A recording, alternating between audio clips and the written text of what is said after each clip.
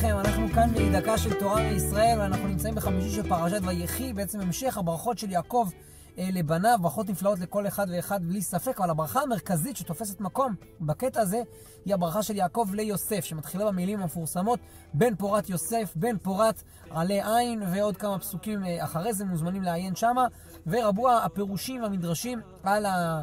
על המילים האלו, בן פורת יוסף, ניתן את אה, אה, אחד מהם של אה, רבנו עובדיה מספורנו, חכם איטלקי, שמספר שבן פורת יוסף פורת מלשון גפן פוריה, גפן שנותנת את, ה, את הפרי שלה, אבל בדרך מאוד מעניינת.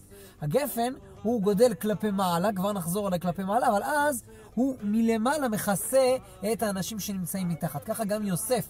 אה, בזכות הצל שלו, כלומר בזכות השמירה שלו שעזר ליעקב ולבניו לשרוד את הרעב הגדול שהיו באותם שנים, זכה כאן אה, לברכה של, אה, של, אה, של יעקב, שהוא כמו גפן פוריה, הוא ממש מכסה ושומר על יעקב ועל שאר האחים שלו. וההמשך של, ה, אה, של הברכה, עלי עין, אה, שהגפן אה, צומח בצורה כזאת שאם הוא בצד השני של הקיר, ככה הספורנו מפרש, בהתחלה אני לא רואה אותו, הוא גדל, גדל, גדל, ורק כשהוא למעלה, פתאום הוא מבצבץ, ואני מצליח לראות את השפע שלו. בהתחלה לא רואים אותו.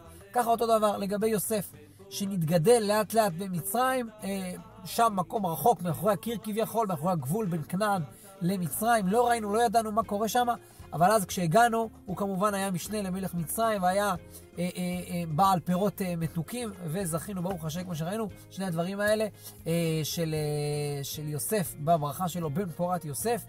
אה, ואני מאחל לכם שנזכה לברכה של יוסף, של, אה, שאנחנו מאחלים אחד לשני, בן פורת יוסף, בן פורת עלי עין, שהוא נמצא על העין, על העין הרע, שלא, העין הרע לא נמצאת עליו, אלא אנחנו עם ישראל, שאנחנו מזרעו של יוסף, אנחנו נמצאים מעל.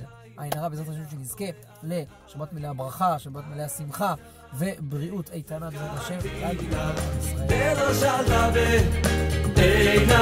ישראל.